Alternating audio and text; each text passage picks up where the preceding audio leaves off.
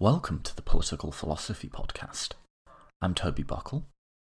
In this week's episode, I'll be discussing some of the ethical, as well as some of the epistemic, actually, issues surrounding uh, disability. And I'll be joined in doing this by one of the world's um, leading thinkers and writers and speakers on the topic, who I'm very pleased to have on uh, Tom Shakespeare, who's someone whose talks and so on I've been listening to for quite some time now, and um, I'm really excited to bring to all of you as a guest. So, as a quick uh, bio, Tom Shakespeare is a fellow Brit. He uh, has a BA, MPhil, and PhD in social sciences from the University of Cambridge. His PhD research explored conceptualizations of disability and his subsequent research projects at the universities of Sunderland, Leeds, and Newcastle explored the sexual rights of disab- disabled people, childhood disability, and the quality of life in restricted growth. He's published extensively in disability studies, uh, for example, The Sexual Politics of Disability in 1996, which we talk about a bit in this interview, as well as Disability Rights and Wrongs in 2006. He's also uh, written in bioethics, for example, arguing about disability in 08. In addition to um, his work as an academic, Tom spent five years at the World Health Organization, where he co authored the World Report on Disability in 2011 and International Perspectives on Spinal Cord Injury in 2014. On top of that, as well, he's um, been prominent in the public eye, um, particularly in the area of the arts. He served as a member of the Arts Council of England between 2003 and 2008, and he's presented programmes on BBC4 Radio, including A Point of View. He's also been a regular columnist for a number of publications, including The Guardian. Uh, Tom is currently Professor of Disability Research in the Medical Faculty of the University of East Anglia and is a member of the Nuffield Council on Bioethics. In addition to all that, uh, Tom Shakespeare in 2018 was elected a Fellow of the British Academy. There's a lot more there, actually, and um, if you check out his website, which um, he plugs at the end, um, Tom's definitely someone who's really done an impressive amount in um, in his life. So I'm really excited to bring this guest to you. Just before we get to the interview, I'm actually not going to do my usual appeal this week. I'm going to do a thank you. I said in last week's opening, and I've been tweeting, that we've been on like 40 some patrons for a while now. Patrons, by the way, um, if you're new to the show, is just how we fund the podcast. Uh, we don't do any advertising or commercials or anything like that because I think they break up the flow of podcasting and they honestly kind of uh, diminish the credibility of the presenter sometimes, frankly. Um, and I just sort of got tweeting, you know, hey, let's get to 50. Nice big round number, right? And I tweeted that a few times, and within less than a day, like within a few hours, you all stepped up. And I got, I think, another seven people came on board and sponsored. And I sort of was tweeting out each time two more to go, one more to go, um, whatever.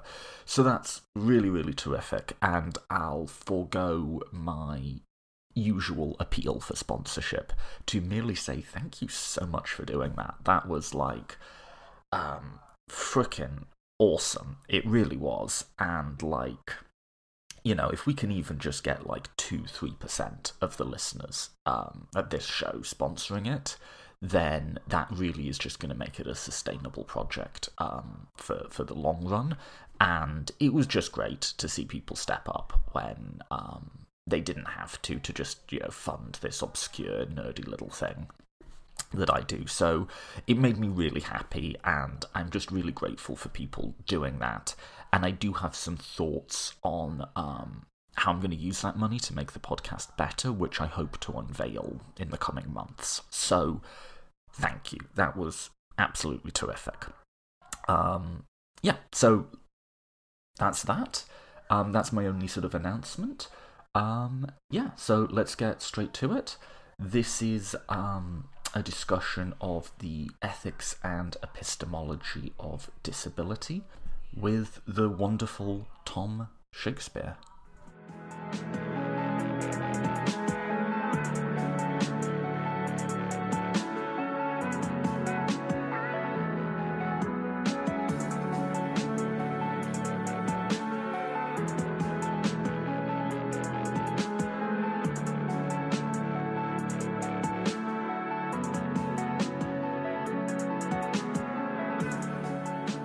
Joined today by Tom Shakespeare. Tom, thank you so much for coming on the podcast.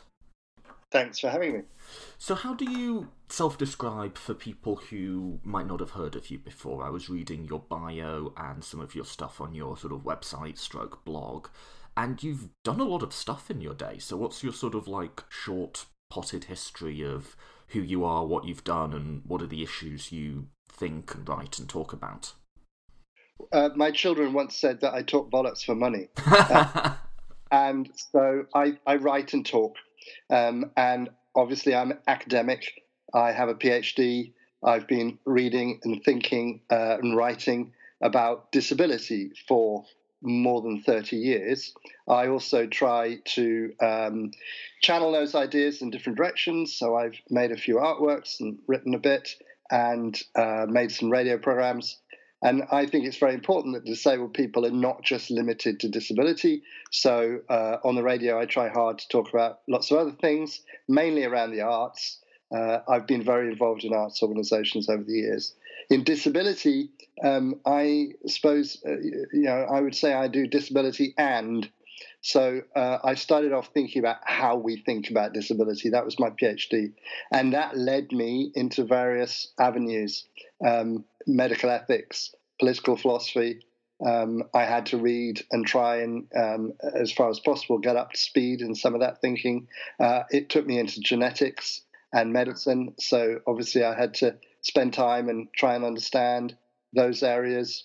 Um, it took me into culture uh, and cultural representation of disabled people. I suppose in the last few years, it's taken me into psychology and mental health and trying to understand that. So I always feel that I'm on the back foot. I'm trying to catch up with vast bodies of literature in which my colleagues are expert and I am a beginner. So I'm I'm very much a generalist. Um, you, you, know, you, you, call me a hedgehog, uh, well, a fox, not a hedgehog. Um, and uh, I'm always learning, which I think is really, really important. Um, I know some people do one thing and narrowly define it and go deeper and deeper and become the world's scholars in that. And I have great admiration for that course of action, but I know a little about a lot. Great.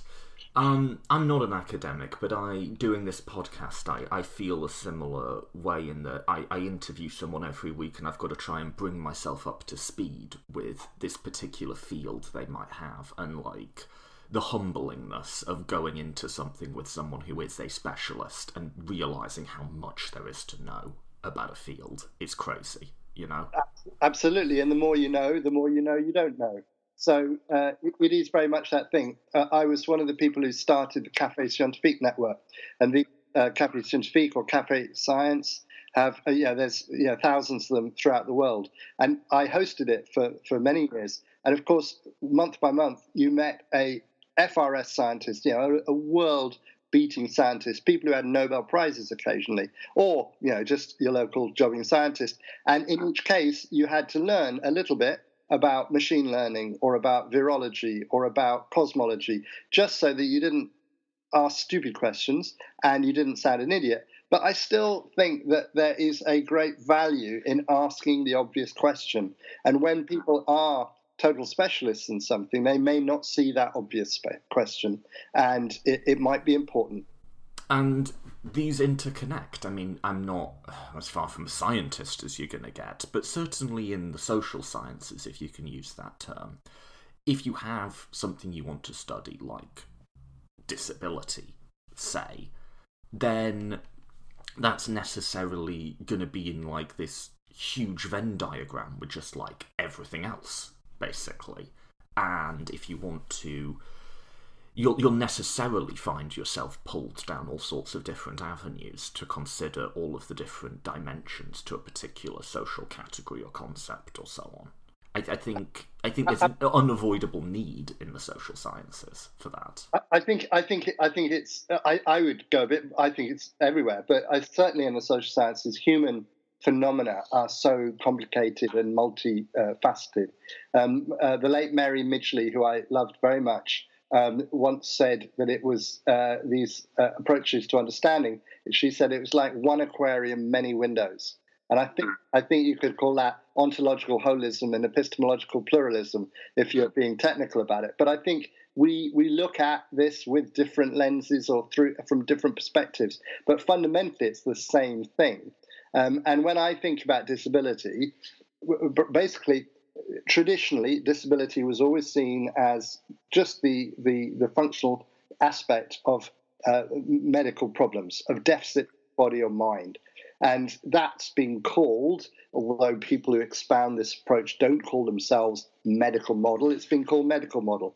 And it was radically challenged in the late 70s by disabled people themselves who said, no, that was wrong disability was fundamentally social. So people disabled by society, not by their bodies. And this has become known as the social model. And it's been very radical, very, very helpful. And it highlights um, the areas of the world that we need to change. And it also is very empowering for people to relocate the problem from them, from their bodies or minds, to society. So that's another reason it's been so successful. I would say that both this, if you like, medical model and the social model are wrong because disability, like all the phenomena you describe, is multidimensional. It does have a medical component, a genetic component, a psychological component, but it also vitally has, you know, it's about architecture and it's about social policy and it's about law and it's culture. So that's why, I mean, the critical realists, for example, talk about a laminated view of reality. And this idea that, you know, the one phenomena has many different dimensions. And, you know, it's true to say I have a G to A transposition at 0.380 of my FGFR3 gene. But that's not how you introduced me at the top of this podcast. You know, you wanted me to talk about my intellectual interests or my career pattern none of which really is explained by my um, single gene uh, mutation. So both are true. One is more helpful in this uh, interview. So let me see if I can summarise the difference between, um, as you call it, the medical approach. Although I think that's a label it's been given. I don't think anyone yeah, puts their it, hands up and says that's. It, it, it's a slur word as well. I mean, it's sort of you terrible biological determinists out there. Well, very few people are quite like that. Yeah, I'm sort of reminded of various issues we talk about with trans people and so on, and there's different labels we attach to views we want to track. But just to track the medical versus social model, if I'm understanding this right, it's a bit like the difference between saying, How has your life been negatively or positively impacted by your disability and saying, how has your life been impacted by society's preconceptions of your disability and their differential treatment of you because of it? So it's a shift from talking about it about you to talking about it as the way society relates to you. Did I track that right?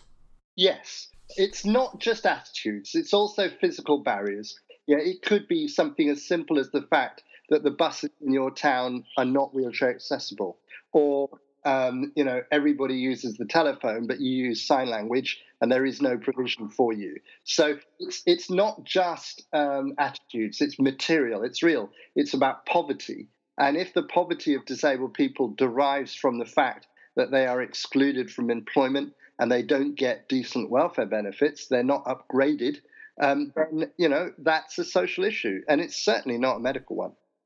So, one reason I could think of, and I'm not an expert on this, so correct me, but one reason I can think of, a historical reason, um, that disabled people might be um, strongly uncomfortable with a medical approach is it wasn't that long ago that um, a lot of the people talking about disabled people as well as people of other races and so on were overt eugenicists who believed stuff that hopefully most of us don't believe today. And I remember in one of your talks you went into a little bit of um, the history of how not just you know fascists but conservatives, liberals, people across the spectrum, you know, less than a hundred years ago were really both feet in on all of this stuff. Absolutely, and you know this this idea eugenics started in the 1870s. Francis Galton, who coined the word, was the cousin of Darwin, um, and it was a fashion. It was extremely powerful fashion. Um, as you say, uh, progressive people like H.G. Wells, uh, uh, Virginia Woolf, um, a whole uh, bunch of progressive social thinkers, the Myrdals uh, in, in, in the Nordic countries, and so forth were enthusiasts for eugenics, as well as people on the right, like Winston Churchill. Uh, and today we're talking about things like um, who gets ventilators uh, in the COVID 19 crisis, and eugenic ideas are being perpetrated, are being promoted.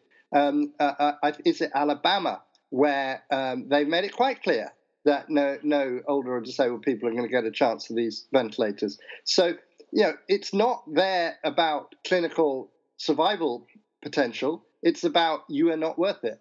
And that is the eugenic thought that certain people are not worth it, that they should be stopped from reproducing, i.e., sterilized. Uh, and, you know, in the worst case, in Nazi Germany, literally murdered. And, you know, over 300,000 people were murdered by the Nazis who were disabled. They were mentally ill, or they had intellectual disabilities or other hereditary issues, apparently, and they were just killed. So, children and adults. So, you can see why there is there is concern. Um, and uh, yeah, I don't know. We in 1996 we were doing a book about sexuality and disability, and somebody told me uh, they'd been in a supermarket with another disabled person, and they'd kissed them, and somebody passing them had said, "Do you mind?" it's bad enough that there are two of you.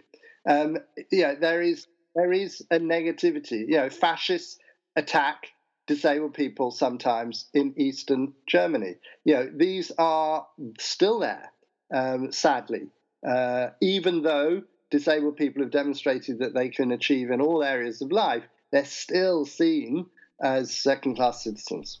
Could you maybe actually um, say a few words about disability and sexuality? Because I think, and I am not endorsing this view in any way, but I think the sort of eugenicist view has a certain um, lack of comfortability with disabled people having children. The idea is we sort of want to breed out what they would say is are defects.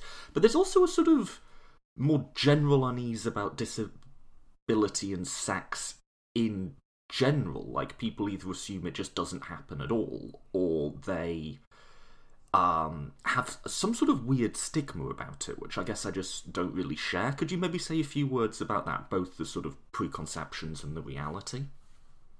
Yes, indeed, and um, I think that the the uh, uh, the thing to, that, that, and the biological, the medical thing to say about disability is that yeah, a very small proportion of it is uh, congenital. You know, one or two percent of babies are born with conditions. Um, so, you know, disability in society is not about disabled people reproducing and having more disabled children. It's just not.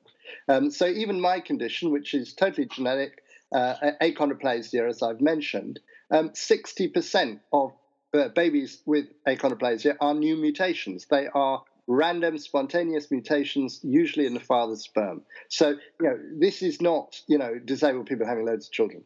Um, secondly, most disability, the, uh, there's something like 15% of the population are disabled. Contrast that with the two or one or two percent that I said were born with it. A lot of disability is to do with, is acquired through life with uh, traumatic accidents like spinal cord injury, uh, and mostly with the things you develop like arthritis, rheumatism, uh, strokes, um, multiple sclerosis. All of these things are later onset conditions. and they're mostly nothing to do with genetic. So you can't breed it out. That's the first thing. Um, you asked about sexuality and disability, and I think you're right. There is a taboo. People feel that disabled people, you know, are sort of innocent, childlike people who, uh, like, oh, yeah, we don't think older people have sex, which is clearly, you know, just wrong in every respect. Similarly, disabled people are the same. We feel that if we look after people, if they are um, dependent in any way, they can't therefore have a sex life.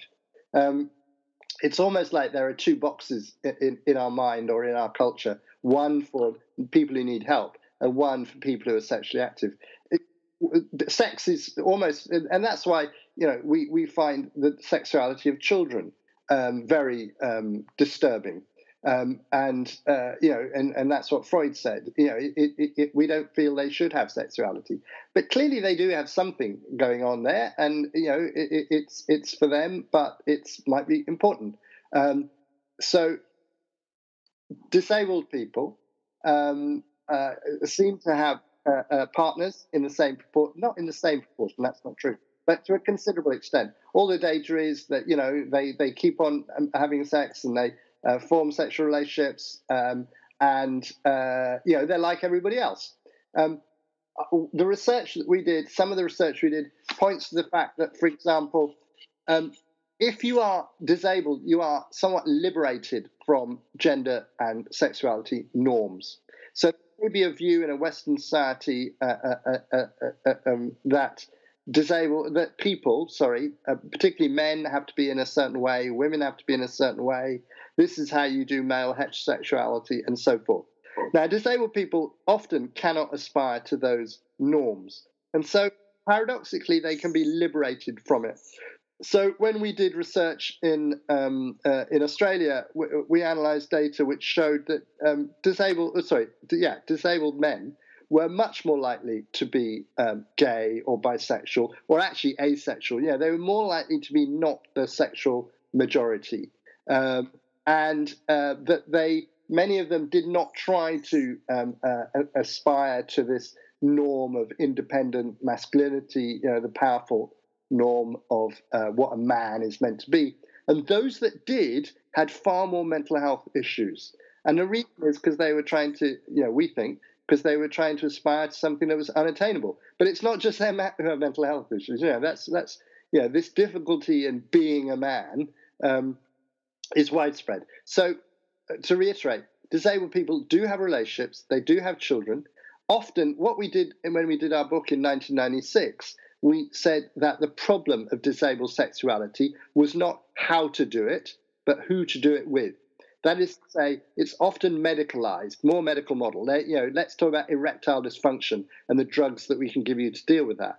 But actually, like with everybody, it's often to do with isolation or meeting people or you know for disabled people yeah they don't they don't always go to college they don't always go to work and the places that people meet partners are college and work um, they may not have money to go to fancy restaurants bars or clubs those are places you take people or meet people they may not have money to um, buy the clothes that suit you, especially if you need the clothes specially made or altered. So, all of these things make it harder for disabled people to project themselves as confident sexual beings.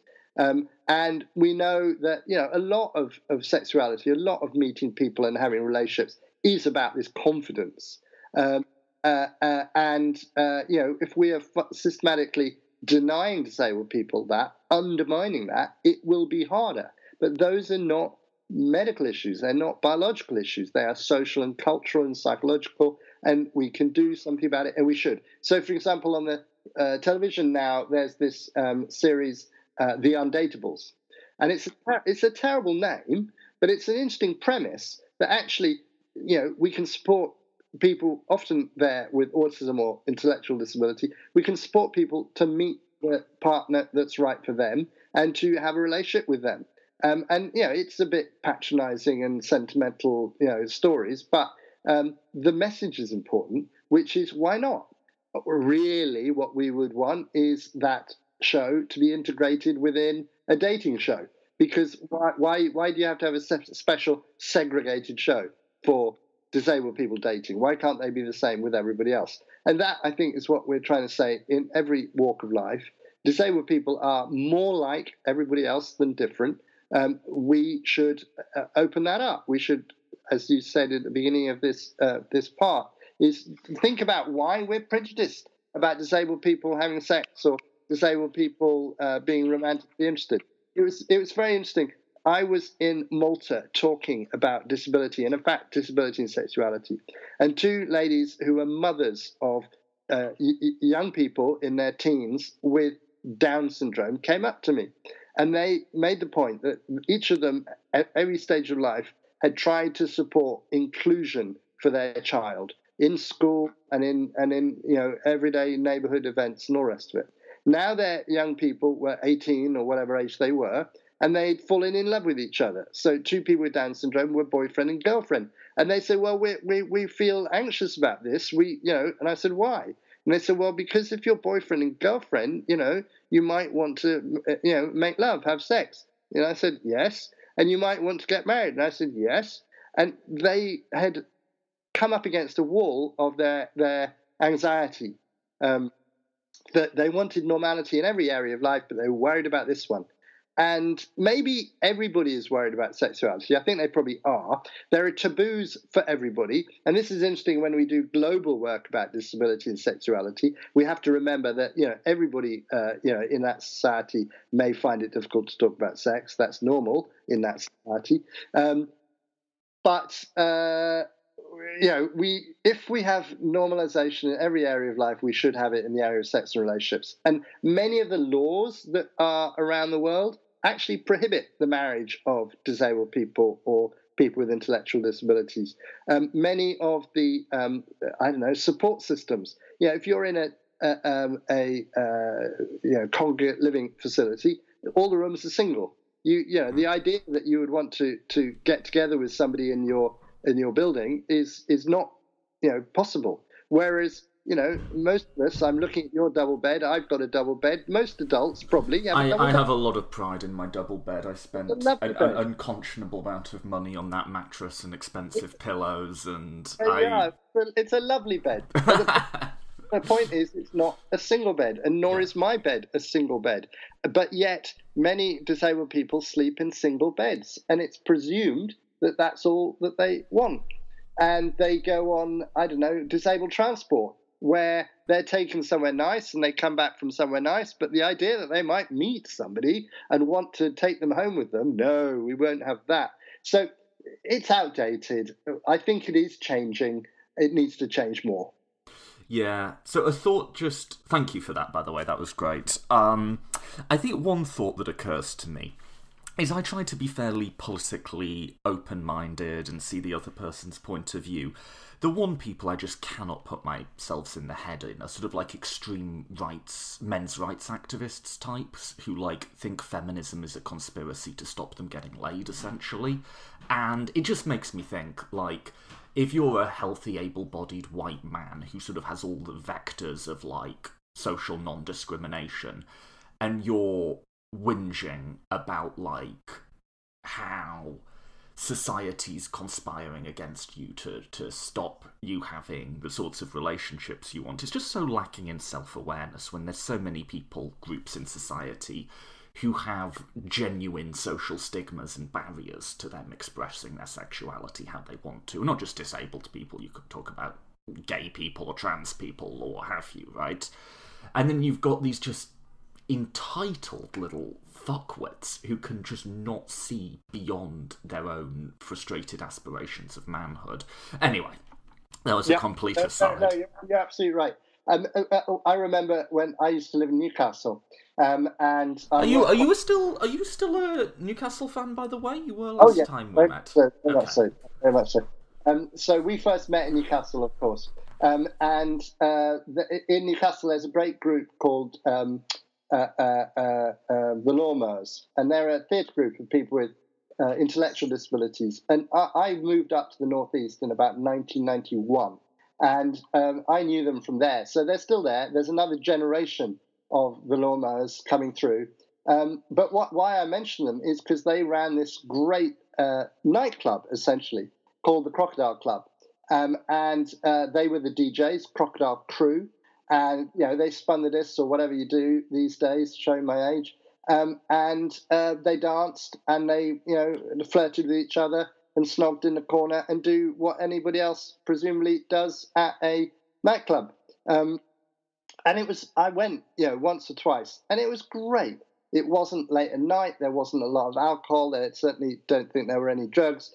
Um, but it was uh, relaxed and fun, and why the hell not?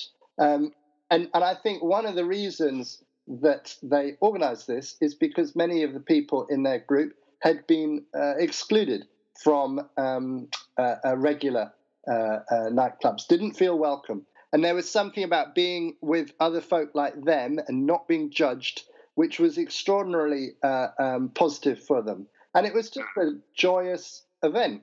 And it was quite interesting because I went, and uh, this was before I was in a wheelchair, and I danced and I had fun uh, with folk.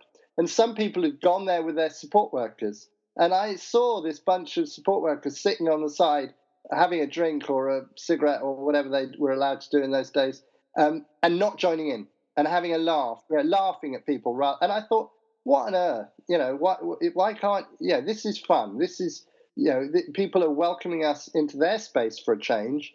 And, um, you know, why can't we let our side down? And I think part of it was because they didn't, they wanted to maintain separateness. And I've worked, I've worked with people with intellectual disabilities. I've worked in, in hospitals where I've noticed that some of the staff really try to maintain their separateness from the people they're working with, almost as if intellectual disability is contagious. And I think there's still this stigma. You know, I might work with them, but I'm not like them. Oh, I, yeah, I drink out of separate mugs. Um, this sort of thing. And I, I think we just have to try and change that mentality um, and just recognize human beings, uh, whether they have mental health issues or intellectual disability or autism or whatever else. We're all human beings. Uh, in the long run, you know, there's an Italian proverb. Um, at the end of the day, the, the, the pawn and the king go back in the same box. And uh, so, uh, yeah, I, I think that perspective, which I'd associate, you know, Spinoza talks about subspecies eternitatis, you know, from the distant view, from the view of uh, eternity, you know, we're all nothing. Um, and so, why are we hung up with these, you know, fairly minor differences between people whose loves, uh, uh, worries, um, uh, aspirations, you know, they're, they're comparable. They're fundamentally comparable. So you can broaden that thought out to just everything, right? Is that, you know, I think that impulse behind um, the eugenicist view with which we started is that um, life being disabled um, must just be so unconscionably awful that it would be. Uh, uh, you, you quoted in one of your talks, I think it was Virginia Woolf, looking at mentally disabled people and saying perhaps they should, it would just be better if they were all killed. And that's a sentiment a lot of people have had. Um, but it's sort of just based on a falsehood, right? Is that, well, I'll, I'll just put the question to you. Is that you presented a lot of data in a lot of your talks that actually, if you just ask people and look at what they do with their lives and ask if they're happy and if they find meaning and so on, you don't necessarily see huge differences between disabled and non-disabled people. Could you talk us through that? Yeah, indeed, indeed, and you know that I included that quote from Virginia Woolf. I actually love Virginia Woolf. I mm. love her novels. You know, I'm a total fanboy of Virginia Woolf. Uh, but I was trying to illustrate that even our heroes say some tr- truly uh, uh, dreadful things. Um, I think it's partly a sort of aesthetic revulsion. Um, I, I, you know, that, oh my goodness, these people turn my stomach type thing. And it's partly, as you say, a more rational thought that people must be unhappy to be disabled. Um, and as you say, it's just not true. There was a, a really important paper by Albrecht and Bugliese, and they did a study of people with disabilities, and they found that you know far more than half of them said they had a good quality of life. And you know, actually, if you ask the general public, you know, they don't come out much better, if, better at all. Um, what changed for these people that made life difficult was pain. So, assuming you don't have pain, which does make life really miserable, um, you have a good quality of life. The Skotko, um, Brian Skotko in, uh, uh, Slotko in, in America did a study with people with Down syndrome and their families. And again, he found that the 99% of them enjoyed their life, enjoyed having a disabled family member, enjoyed being who they were. Yeah, it's just not true that people are unhappy. Uh, the you know the vast majority of people with disabilities are as happy or perhaps more happy. Um, because if you have disability, you do have to put things in perspective. You do have to accept your limitations. You are liberated from some of these unrealistic expectations, which makes life easier. Um, so there was a very good paper by Catriona Mackenzie and Jackie Leach Scully, and it talked about the danger of imagination. And, and what they were trying to say is that when we think of people whose lives we do not share, we use our imagination. We think, oh, it must be terrible to be that person. If I was that person, I would not be happy. And therefore, you then project, well, if I think I would not be happy to be them, they can't be happy to be them. But you know that's obviously a fallacy. Um, you're not them. You haven't lived with this all your life. And we could think of people born with a condition. They know no other thing. This is all they're used to, and people are happy. You could think of people who newly acquire a condition. And you're right, at, at, or they're right. At the start, you have this plunge in your quality of life. You feel really, you know, miserable about, for example, breaking your back or losing your sight. But then you adapt, and human beings adapt amazingly to all sorts of things. Um, and a colleague of mine called Ron Amundson has looked at the literature in this field, which is called hedonic psychology. Yeah. He finds that finds that basically, you know, your your your quality of life will plummet and come back up to what you were before. Um, and this happens if you have a negative thing like you know, an injury, or a positive thing like winning the lottery. You know, you feel great if you win the lottery, but it comes back to what you were before. You re- revert to your average. Um, there's a sort of reversion to the mean. Um, so this uh, thought that disabled people must be miserable because they lack something is, isn't true. Um, and I, I mean, it, it, I didn't think my friend was miserable, but I did wonder about this. Um, you know, I've been, uh, you know, restricted growth dwarfism all my life, and I became spinally cord injured 10 years ago and used a wheelchair. And I was in Germany and visiting a friend of mine who has no arms. And I was doing a lecture for her students. Uh, and that all fi- went fine, I think. Um, and then after she said, I'll drive you to the restaurant we're going to tonight at, at your hotel or whatever it was. And at this point, I'll be frank with you, I was anxious. I thought, this woman has no arms. Surely she means we'll get a taxi. She can't drive us and I, you know, I have had, you know, my lifetime experience of disability, and yet I used my imagination, and I thought if I had no arms, I could not drive. This woman has no arms, therefore she cannot drive. And in offering to drive me home, this is clearly suicidal.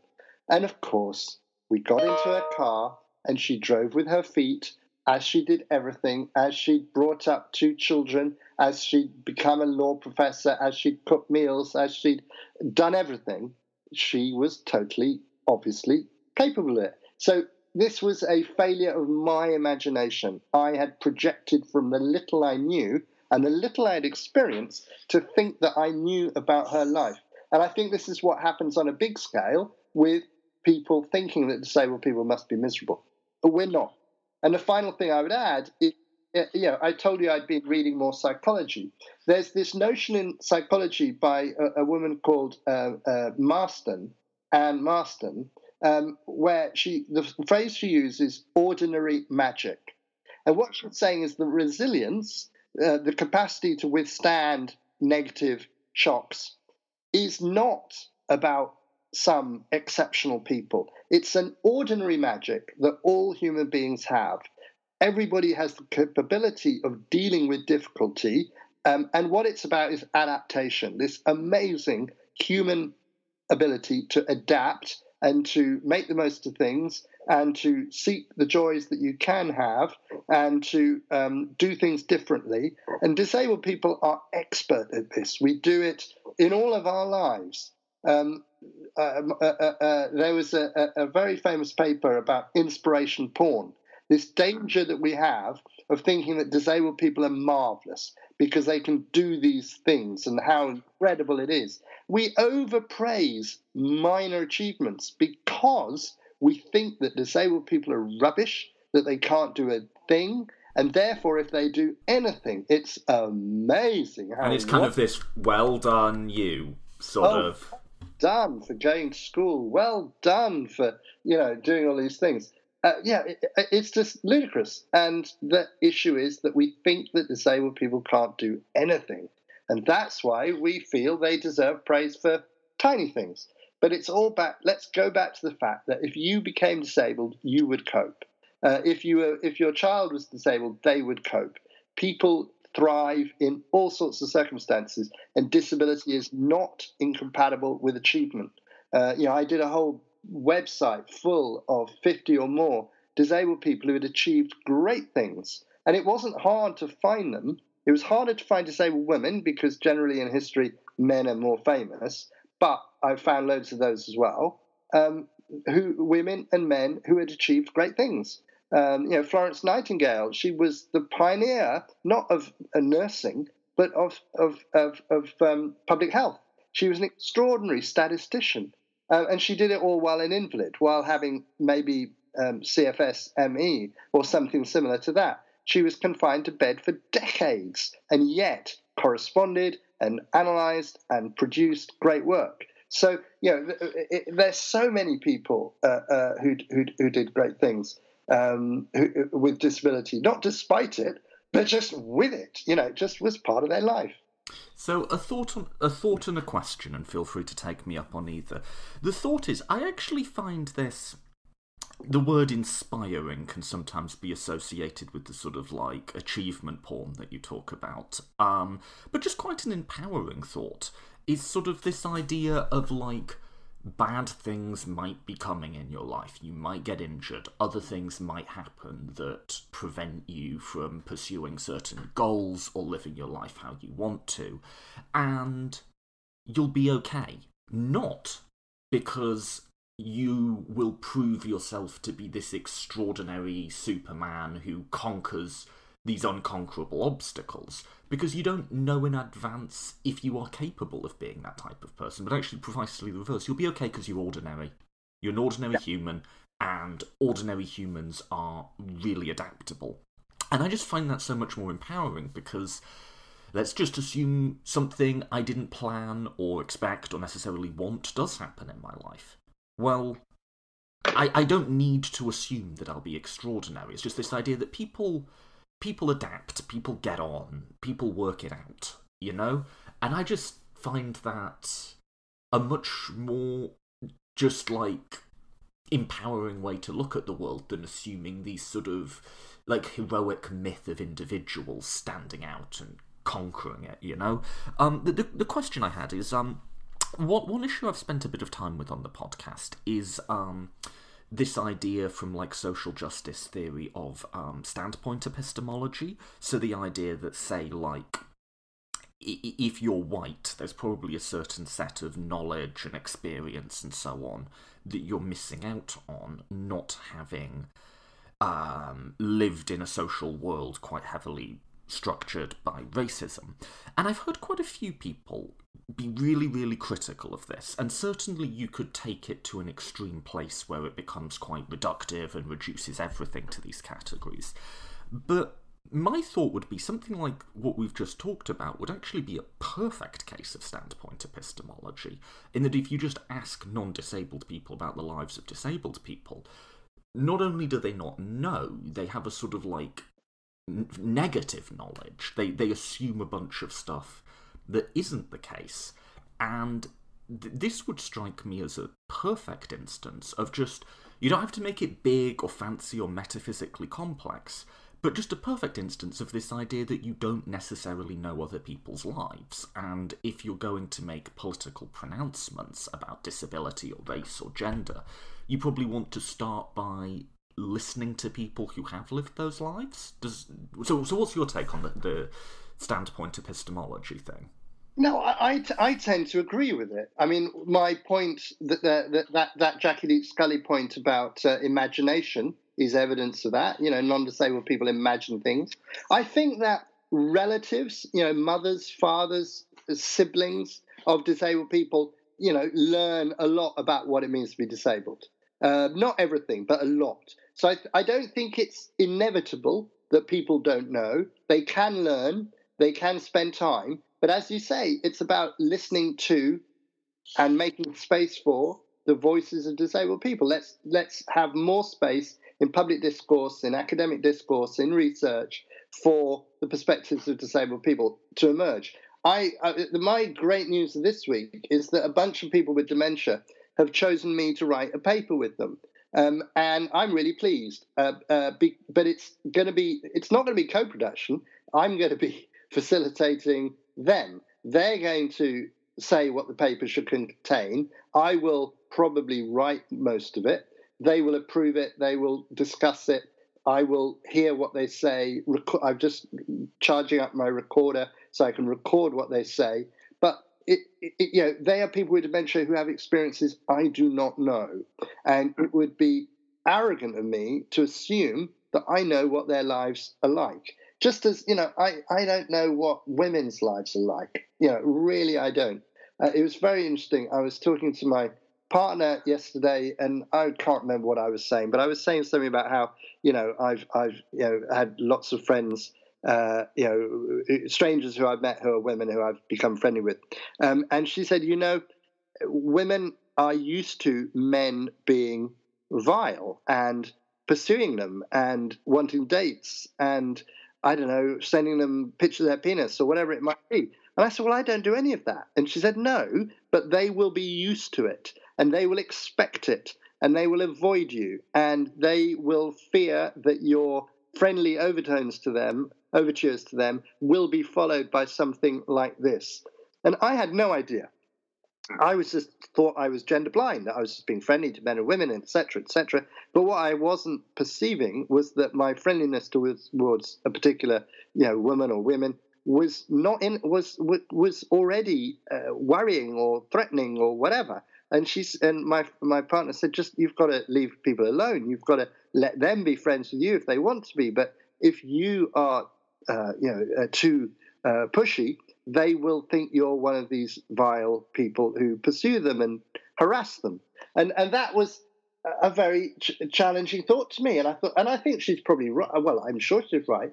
But more to the point, in your uh, angle of, of question or discussion, is that we do not know what it is like to be, I don't know, women on the internet or disabled people or people with intellectual disabilities. All we can do is try and make space and listen and do the research and read the first person accounts and uh, and then and think, oh my goodness, yes, from that perspective, this would look very wrong or sound very bad. And it's not about my intentions; it's about how people receive what you're saying. Um, and I and I think uh, uh, we've got to try and put ourselves in the other person's shoes. We've and, and the best way of doing that is listening to what they have to say. Yeah, so I've I've heard a lot of people really criticise this, um, both from the left and the right, actually, in ways that I think are criticising a sort of extreme version of it, or like a straw man, and they say you're reducing everything to sex, or you're reducing everything to gender, or they say you know, just because you're white, it doesn't mean you can't learn facts about racism or whatever. And that's true enough as an object level fact. Um, but, I mean, sure, if you try to reduce the whole world to that sort of analysis, you'll definitely run into blind spots. You talk about lenses of interpretation we have. I, I think about them as like different pairs of glasses you put on to see the world. Yeah. And yeah, I think this sort of like intersectional framework, if you can call it that, or something like that, or um, th- this idea of standpoint epistemology is a particular interpretive lens. It won't show you everything about the world, but it will show you stuff that other lenses don't. And the thought isn't crazy, and maybe we can do a better job of like explaining it and not using jargon and talking simply and plainly about putting yourself in someone else's shoes, listening to what they say, realizing you haven't lived the same life as them, as opposed to maybe using words that seem to turn people off, like privilege or intersectionality or so on. But then I sometimes think that maybe people just want to be turned off by it because they actually resent being asked to listen. Yes, I'm afraid that may well be right. Um, I, and I think um, I would make three points. Mm. One is, uh, you know, I, I, I, you know, I do think we're all in the same game together. We're trying to get. I don't think there are sort of different knowledges, and you know, I think there is one knowledge. You know, no, no, I agree with that. Yeah, there's, there's one truth. Yeah, I'm not saying we attain it, and it, I, I do think Popper and falsifiability and all the rest of it, but we're trying to get closer and closer to the truth. So I don't think there's sort of women's truth and men's truth and black folks' truth and white folks' truth. But, you know, as you say, there are, th- there are blind spots. There are things we don't see. There are spectacles we haven't got. And so we need different people to contribute towards creating that or, or, or, or uh, uh understanding that uh, truth. Um, uh, I think the other thing I would say is uh, about identity. I think that these debates get mixed up with identity politics, and I, I am I don't like identity politics um, uh, in the sense that it's about sometimes it's about trying to favour or support a group, um, and our group and the in group and the out group and all these group things, which I find destructive I find them liable to lead to segregation, um, uh, to to sort of internal rancor. I think you're about to ask me what's the alternative, um, and I would go uh, uh, to Nancy Fraser, and Nancy Fraser talks about what we want is for an individual woman and man, or individual disabled person and non-disabled person, to have parity of esteem. She wants us to be equal with each other. It's not that you have to, you know, give special privilege to a group. It's that you have to say, look, we should all count. We should all count equally, and we should all be treated with respect and listened to, you know, in a, in a democracy. Um, and that's what we want. And it's interesting in the disability world. I don't think our goal is to support, you know, disabled people's organisations for the sake of it.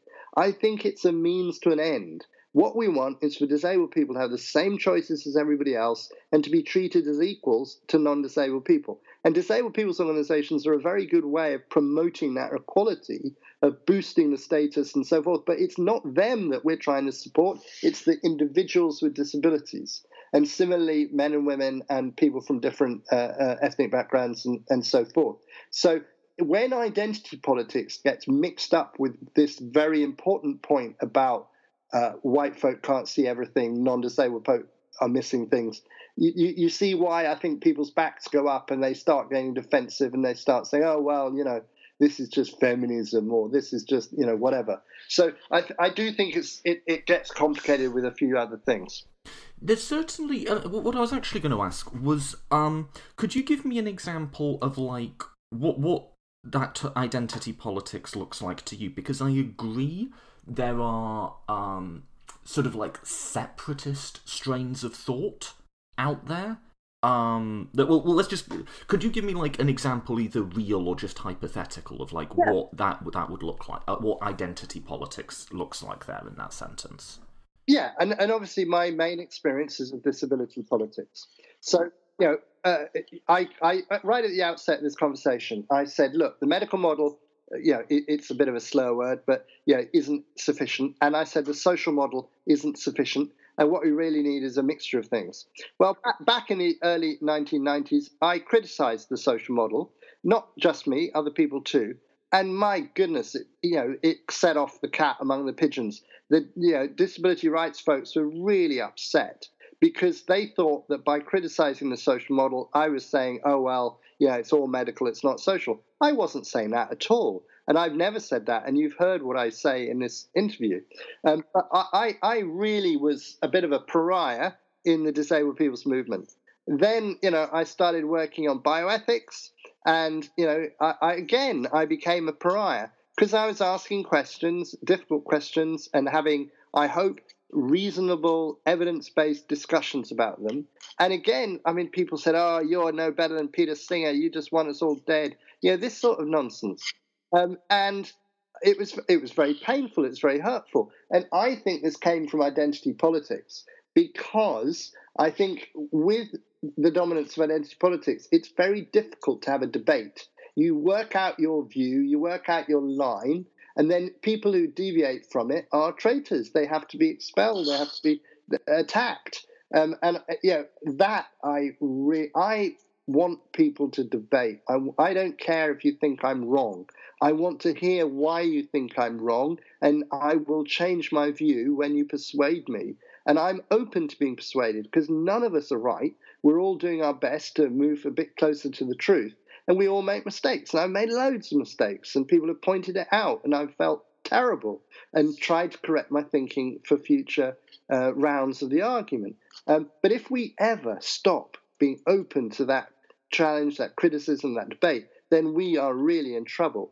And this is, I think, something that identity politics does. It does freeze the argument and say, this is right, this is wrong. If you say this, you're wrong. If you say this, and yeah, in the world of Twitter, it's become an, an instant rebuttal. It's become even more so.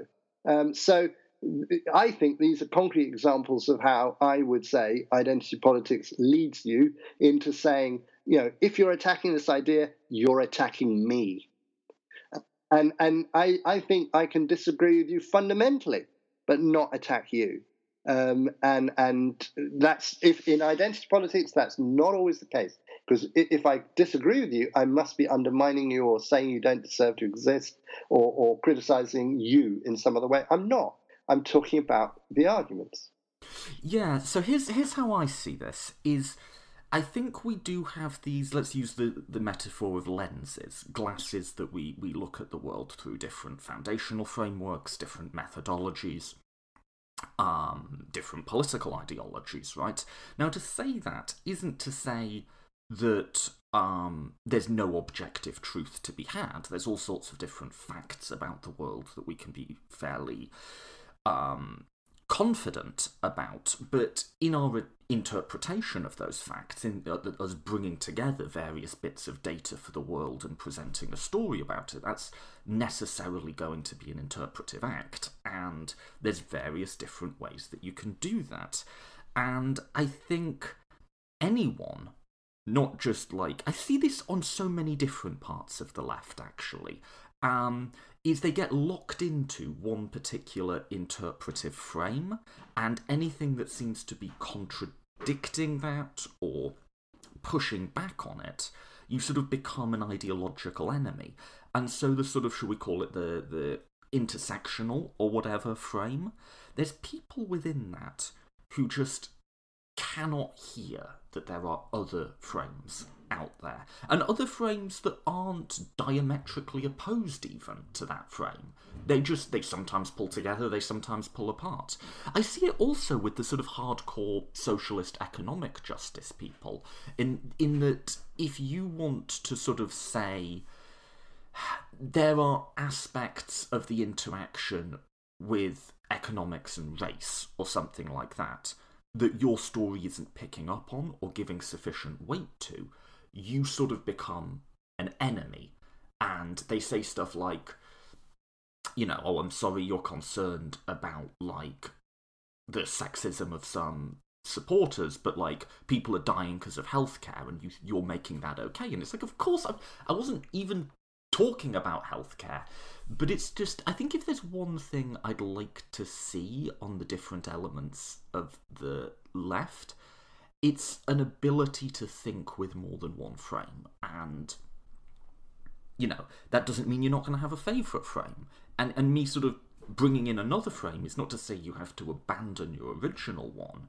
It's just a sort of very classical liberalism in the best sense of that tradition, an idea of thinking critically and being open to new ideas. And I definitely see that on the social justice left. I see it on other parts of the left too, and it's immensely frustrating to be on the other side of it. I'll, I'll pause there.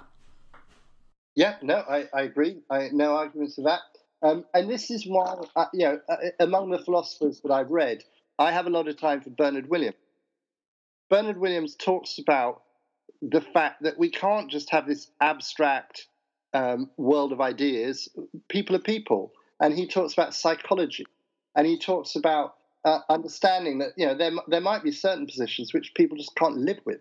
They just can't do, and therefore you know it may be right in some Platonic universe, you know, of abstract ideas, but it can't work at the level of human beings because human beings aren't like that. Um, and, and, I do think that we need to take into account this psychology if we're to make better arguments about how we live. Yeah, and also I guess people just see themselves as defined in a political struggle and they sort of want easy markers for are you an ally and an enemy, and if you're taking what they very strongly believe in and seemingly trashing it, then you become an enemy and you go outside of the sort of people how, I need to talk to, you know? How, how, much of that is to do with their psychological need for certainty, um, their need for a struggle, um, you know, their difficulty with indeterminacy um, uh, and with certain forms of complexity? You know, I think there is a psychological level at which, yeah, I mean, certainly in terms of disability, hmm. because you know, and I was wondering for a long time why I was getting this vitriol um, and attacks um, and then I thought to myself, well, you're challenging the social model of disability. And for many people, this is defining. This enabled them to escape from terrible ideas that they were rubbish, they were useless, that they had nothing to offer. And you're coming along and saying, we need to think again, and this might not work. And they're going, oh my goodness, Shakespeare is attacking me. He's attacking the basis of my existence. And of course, they were bitter and angry and, and, and hurt and, and emotional about it because they're human beings and they had made investments. And here was I, privileged Tom, rocking up and saying, I think you might be wrong about this. There's an, we're coming up on time, but one final element that's really interesting here is there was some research done. This is going to make sense, trust me. Um, or maybe don't trust me, but um, there was some research done by Teresa Bejan in Oxford, who's a, political theorist, on um, the ways religions historically have punished dissent. And one of the really clear findings that's true of all the big religions we know about, it's true of the different Christianities, it's true of the different Islams, and so on, is that religions will go after apostates much harder than just generic non believers. So if you're just like a Jew in Christian Europe, there will be a certain level of persecution. But the person who was a priest and then starts preaching a heresy, those are the guys you've got to get rid of. And I think there's a similar thing happens with political ideologies. That there's people, you know, I think like a lot of the people we're talking about, it would sort of never even occur to them to spend a lot of time going after and engaging strongly conservative figures. But if you're inside of the disability movement and you're seen as like an ally and a spokesman for it, and you say something that challenges an orthodoxy, in a weird way, like the religion thing, like the most dangerous thing to a religion isn't someone who's just always been a part of another religion. The most dangerous thing is someone leaving your religion. That's the bigger threat to the group. And I think there's an element of that in political discourse that if you're seen as on the same side as someone, and then you say something heterodox, that's when the venom comes out. I'm sure you're right. And again, I'm also sure that this is all about psychological processes. Yeah. You know, we know about the tribalism of the Labour Party and other left groups. Um, I think that it may, here's a suggestion that everybody has doubts. People have doubts about their position. And if you are, if you're in your language a heretic, if you're, if you're voicing those doubts, you're voicing the doubts that many people have at some level, hmm. even if they haven't vocalized them or even brought them to consciousness. They're there somewhere, and you're saying this doubt is real. Hmm. This doubt is a reason for rethinking some of this. and therefore, you know, you're dangerous. You're uh, you're you're uh, uh, challenging people's certainties, and uh, you know, you need to be denounced. You need to be, you know, as you say, back in the day, burned at the stake, rejected. Uh, but it's about groups. It's about identity. It's about psychology, and that's why uh, you know we, we we need to have this in our thinking. we need a account of politics and of ethics uh, that takes into account uh, you know the li- limitations and preconceptions of our minds. And so you know back at the beginning of this discussion, uh, you know I was embarrassed and I said, look, I've read a lot of different things, but I think we need a lot of different things. We need political philosophy, we need economics that you've mentioned, we need psychology, we need genetics, we need all of these things not to reduce our complex human behavior and social interactions to one of those, but to say they're probably all at play. The the the challenge you get to that, and we'll end with this, is I so believe that, and like um, I so believe that that is what's needed in our political thinking, a sort of multi framework, an ability to think in a multi framework kind of way. What people will say is, but that's really challenging. And that's all right for someone who's like an intellectual or something like that. But most people can't put the time commitment in to think that way, and they need a simple set of rules to go run with. And that's sort of what these ideological things do. I. My view is that might be a little patronizing towards the average person, and that if you give people a chance to think properly, they might surprise you. But I'm not. I'm also not underrating the, the, the, the challenges of um, asking people to think this way and, and getting them to do it well? Well, I'm going to say yes and no. And I think you're absolutely right. Everybody's capable of having this sort of complex thing. We did a citizens jury when I was in Newcastle. Hmm. And, you know, if you sit people down in a deliberative process, it doesn't matter who they are. They don't have to have any skills going into it or knowledge. They will come out with sensible views. If you give them time to discuss it, you give them expert witnesses who can clarify and add you know, expert adv- uh, information. People come out well. That you know, everybody. So I, I'm, I have a lot of faith uh, in the ability of people to to work it out. But that's given a few days and a lot of resources. Exactly you know, and what happens is that we don't have that. We need to make snap decisions, uh, either in our daily life as ordinary uh, citizens or sometimes in policy arenas. I'll never forget that, you know, I, as you know, I've been looking at disability for 30 years or whatever it is. So, you know, and the more I read, the more I don't know. That's for sure. And I was at the WHO, I worked at the WHO for five years. And there was one point where I was about to talk to a bunch of really senior people, health policymakers, uh, possibly some ministers. I can't remember. It was it was a big thing, and and my my boss said to me, you know, what are you going to say? And and I was telling him what I was going to say, and I said, well, to start with, I'm going to tell him it's complicated. Mm. And he said, no, let me stop you there. Never tell a policymaker it's complicated. Mm. They want to know it's simple. Here are the levers. Pull these, and you'll get this outcome. Um, they you know, life is complicated, but we reduce it to simplistic answers, either in our daily life or at the highest level. So these were very intelligent people, but they just wanted, tell me the answer, tell me what to do, I'll try and do it. Yeah, terrific. Um, should we should we pause there? Yeah, I'm fine. Oh, let, well, let's leave you with a plug before we go. Um, if listeners are interested in you or your work, where should they go? Blog, website, Twitter handle, anything like that? Okay, uh, um, farmerofthoughts.co.uk is my personal website. Mm-hmm. But if you're interested in uh, my work at the London School of Hygiene and Tropical Medicine, um, go to the website for ICED, the International Centre for Evidence in Disability, mm-hmm. and you'll find all the research we're doing uh, globally to try and promote uh, the interests of disabled people. Terrific. Um, thanks so much for doing this. I really appreciated having you on yeah, no, it was great fun. And thanks for doing it and good luck.